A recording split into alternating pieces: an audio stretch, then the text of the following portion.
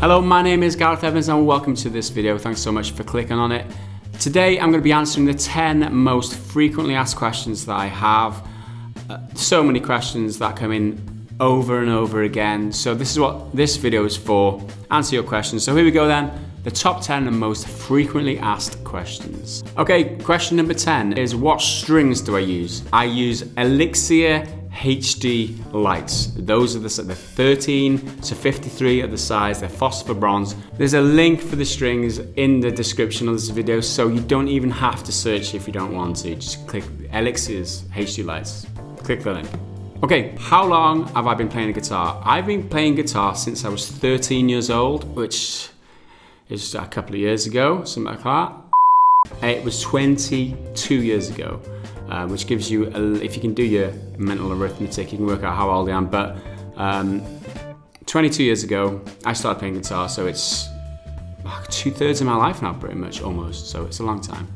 Okay, question number eight. What is the tuning for the guitar? I always mention the tuning for the guitar in the tutorial itself. You just watch the video. Just just watch the video before you ask what tune the guitar is, and you'll you'll be fine. It's it's really, really easy. Or go to the tabs. They're always written on the top of the tabs. Download the tabs from the website and, uh, and you'll be good. So the next most frequently asked question is where can I find the tabs? Where can I find part two? Where can I find part, find part four? And so on. It's, it's the same thing, but it's just a case of look in the description of the video and you, you know, I feel like I'm saying this a lot, but it is it is that simple. Like there's so many people who ask these questions. All the descriptions include links to the tabs, links to the other parts in the, on the website goliathguitartutorials.com. So just read the descriptions, listen to what I'm saying. A lot of these questions are answered for you. So next up,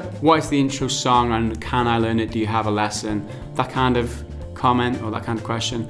Uh, yes, it is an original kind of jingly thing that I put together. Yes, there is a lesson. All you have to do is um, search YouTube for how to play my intro song, or you can search Gareth Evans or Goliath guitar tutorial intro song, something like that. You'll find the the lesson to it. Check this out, Andrew Foy playing the Goliath guitar tutorials intro. Roll clip.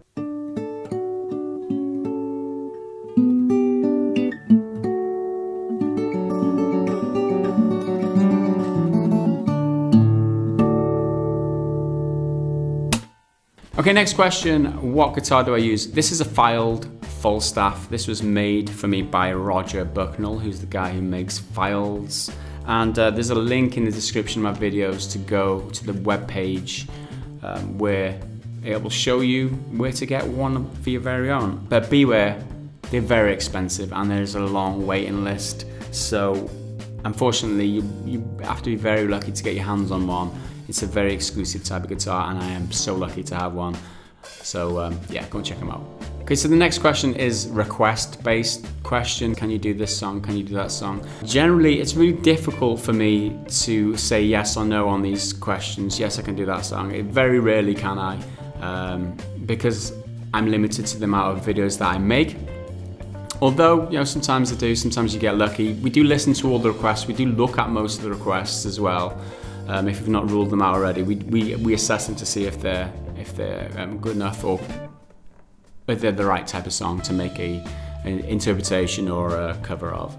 Uh, or a lesson of, that kind of thing. We did give priority these days to the Patreon supporters who request and also there's a monthly newsletter we send out for the Patreon supporters. They get to vote on what type of songs that we want to, we're going to cover next and um, you know, that type of thing. So the Patreon guys get more of an input on the requests, although, like I said, I don't rule any request out.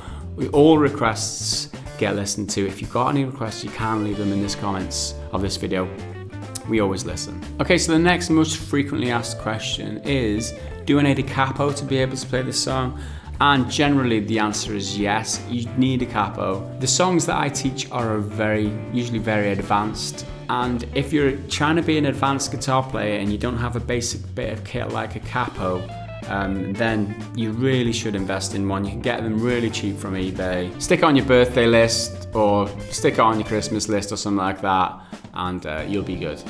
Okay, so I guess that's the most frequently asked ones out of the way. We've got, I'm just going to throw in a couple of random ones just to make it a round number of 10. So here we go, a couple of random questions now. What do I do in my free time? What are my favorite sports? Uh, just basically want to get to know me better. It's a great question uh, because it's not the kind of thing that I answer often. But um, my interests outside of playing guitar are I like gaming a lot. Obviously, that's you know, represented in the YouTube channel, Gareth Evans Gaming. Go and check it out. So I like gaming, I like sports a lot, I like keeping fit. Uh, I play football or soccer for you Americans uh, twice a week.